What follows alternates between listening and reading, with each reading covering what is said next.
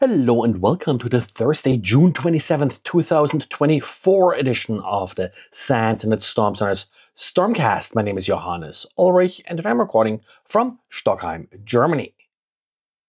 Well, not a good day if you are still using MOVEit by Progress Software. The software, of course, had critical vulnerabilities in the past, leading to numerous ransomware incidents in the last few months, well, we do have a new critical vulnerability allowing unauthenticated access to your MOVEit server. For those not familiar with MOVEit, or maybe it's pronounced MOVEit, it's an enterprise file sharing system that essentially allows you to use a Windows system in order to offer files via HTTPS and SFTP. And SFTP is the problem here. With SFTP, you do have the option to authenticate using a public private key scheme like you usually are supposed to if you're using SSH and SFTP. The problem with MOVEit's implementation of SFTP is that instead of providing the actual key as you authenticate, you're able to provide a path where the system may find the key that it is supposed to use to authenticate you. The problem then is that this is not even limited to a local path. You can, for example, make the MOVEit server connect to an SMB share, which then will lead to the usual problem of leaking credentials, possibly via weak hashing algorithm. But if you're able to actually then upload a file to the system, you're able to specify that file name and use it for authentication instead of the actual file. And that allows you to just authenticate and log in as any user to the MOVEit server. watchTowr Security, which hasn't actually found the vulnerability, but uh, wrote up a great blog post with lots of details how this vulnerability really works and how it could be exploited. Exploitation had started before there was a patch available. And uh, yes, a patch is available now, but exploitation is in full swing within hours of the patch being released. So sadly, this is again one of those cases where you must assume compromise if your MOVEit instant is vulnerable to this particular problem.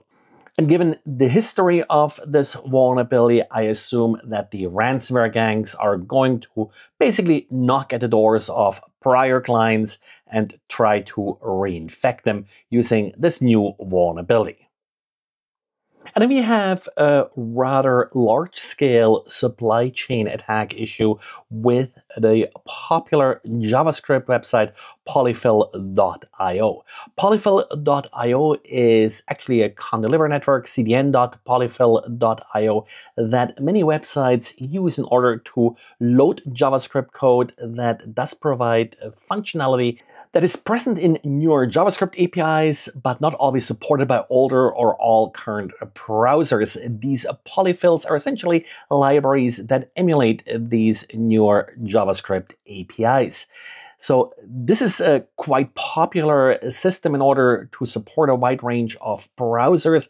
Polyfill.io back in February did change owners. The domain changed owners and the person behind Polyfill did actually warn users to switch to a different hosting CDN, and there is, for example, Cloudflare and others available that provide the same service for the same libraries.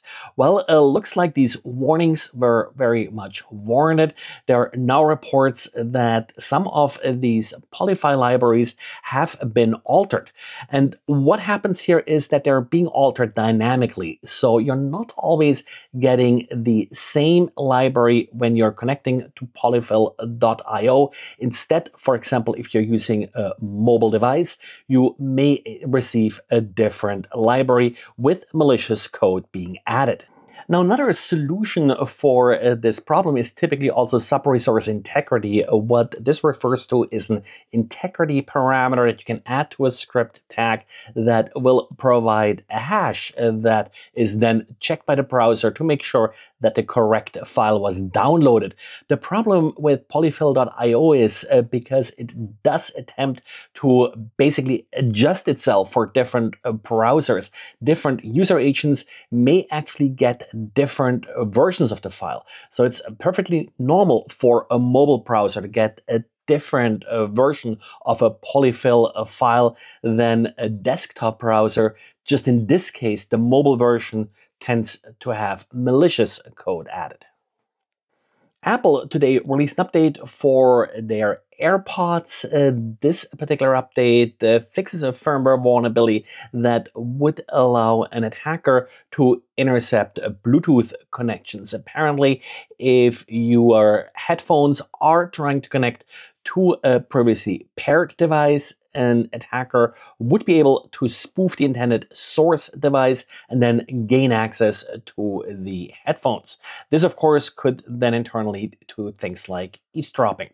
Note that in order for the firmware update to be applied, your AirPods must be paired to an iOS or macOS uh, device. So if you're using your AirPods with an Android phone, for example, the update may not be applied. Well, and that's it for today. Thanks for listening and talk to you again tomorrow.